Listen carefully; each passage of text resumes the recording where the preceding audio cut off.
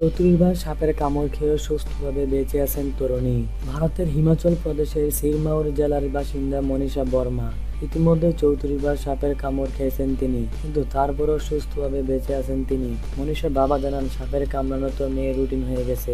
মনীষা বর্মা জানিয়েছেন, প্রথমবার আমাদের গ্রামের নদীর ধারে একটা সাদা সাপ আমাকে কামড়ায়। গত তিন বছরে আমি তিরিশ বার সাপের কামড় খেয়েছি।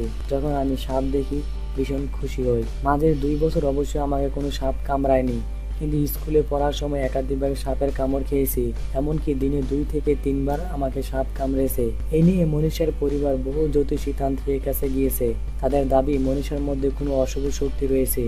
যদি চিকিৎসকরা মনে করেন যেই সব সাপ, মনীষীকে কামড়াইছে, তারা হয় নির্বিষ কিংবা তাদের শরীরে বিষ কম। ভারতের হিমাচল প্রদেশ সরকারের বন বিভাগের কর্তব্যরত চিকিৎসক রোহিত জানান, ওই মেয়েটি কোনো সাপ কামড়েছে তা জানা নেই। তবে বারবার সাপ কামড়ানোর ফলে মেয়েটির শরীরে অ্যান্টিবডি তৈরি হতে পারে। আঠারো বছর এই যুবতীর শরীরে বিষে বিষে বিষক্ষয় হতে পারে বলে মনে করেন চিকিৎসকরা।